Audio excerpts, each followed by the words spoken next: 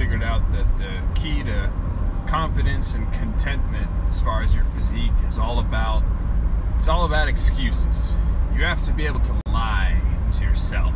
So if I'm talking to a guy that's a lot bigger than me, I'm all like, ah, I'm just trying to stay lean, stay cut. You know, my, my, my goal is to be, you know, to try to stay my current size, but just look better, you know. Besides, my back would hurt if I put on all that muscle mass anyway.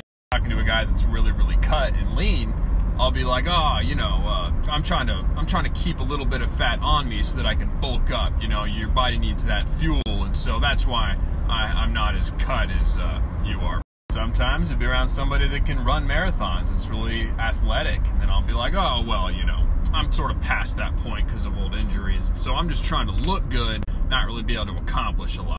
See, it's just that my muscles are so strong and I just try so hard and I just break through pain barriers so easily that my, my joints and my body just can't keep up with it. And uh, that's why I uh, that's why I've got all these injuries because uh, because in some way I am still better than you. If you can commit yourself to these brain gymnastics enough, you'll be able to not only escape other people's judgment, but also your judgment.